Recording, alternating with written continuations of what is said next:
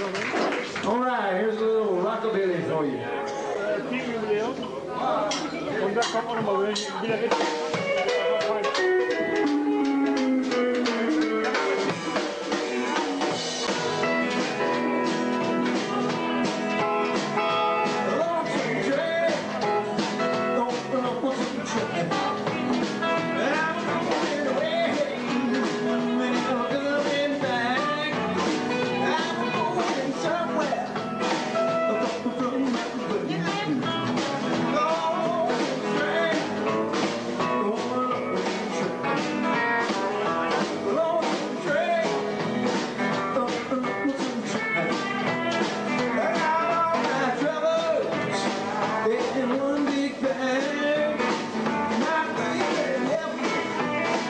شعير